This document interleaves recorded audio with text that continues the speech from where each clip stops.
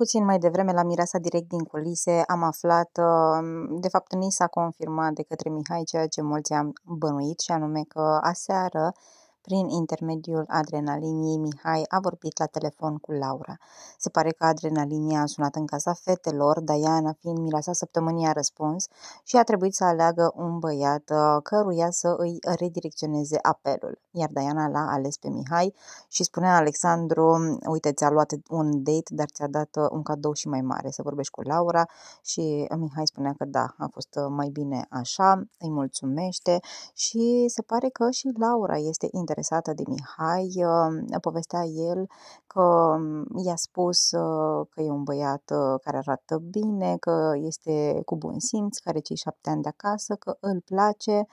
dar nu știa dacă va intra astăzi în casa Mireasa, pentru că um, a fost întrebat și el a zis că nu crede că ar avea timp să se pregătească atât de repede, pentru că abia aseară a sunat și Mihai o place pe Laura și o să vedem, eu sunt sigură că va intra, dacă nu astăzi, cel târziu luni. Cum vi s-ar părea un uh, cuplu, un viitor cuplu Mihai-Laura?